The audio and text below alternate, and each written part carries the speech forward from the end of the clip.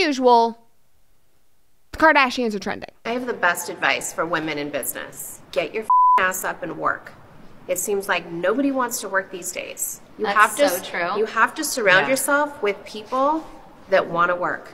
Have a good work environment where everyone loves what they do because you have one life. No toxic work environments and show up and do the work. I think it's a great message. I am semi alone in that, apparently, because the internet is very angry at her. One person says, Read the room, Kim. We are just finishing a pandemic. Okay, so does hard work stop in the middle of a pandemic? Little too much time with Kanye.